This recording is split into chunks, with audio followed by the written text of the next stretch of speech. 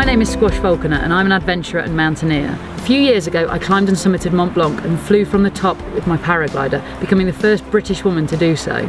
On all the expeditions I've been on, I've used Powertraveller products. I even took them to the top of the world. And that's why I'm really excited to be here this weekend to show you the new Solarmonkey Adventurer. It's a brand new product and one that I'm really looking forward to using.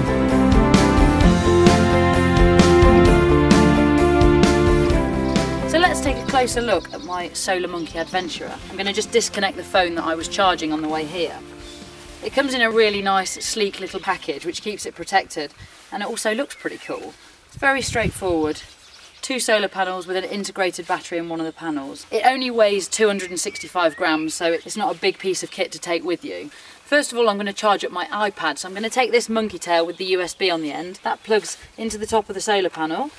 I'm going to attach the solar panels to my rucksack. The iPad goes in my rucksack and I'm ready to go. As you can see, we haven't got the best weather today. It's actually raining, but that isn't a problem for the Solarmonkey Adventurer because it's water resistant. So I can still have it out on my pack charging.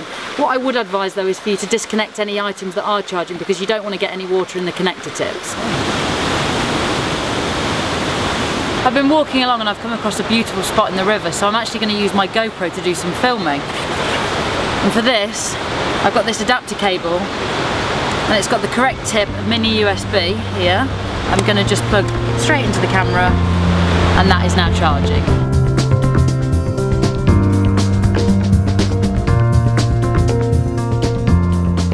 Today while I was out walking I was able to charge my iPad and this evening I'm going to look through the photos that I've taken. Before I do that I'm going to charge my iPhone again because I've been using it all day and I want to make sure the alarm goes off in the morning.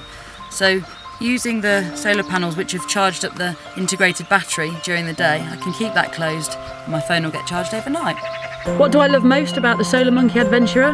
Well basically, it gives me a choice. If I want to be out in the wilderness, in the wild, with all my gadgets, entertainment and means of communication, I can.